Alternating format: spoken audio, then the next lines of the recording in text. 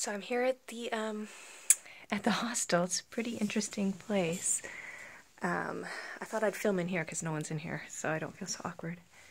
But um, there's my bed. All my crap.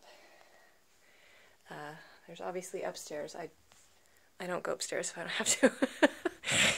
and then uh, it's kind of cute over here, a little sitting area.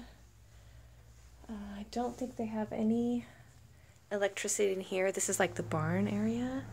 And then you'll see, um, I'll show you outside real quick. I'm whispering. Hi there.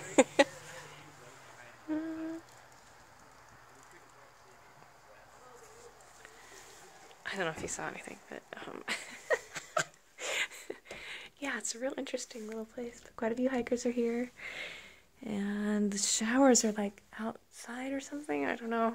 Maybe I, maybe I won't take a shower, but I'm washing my clothes.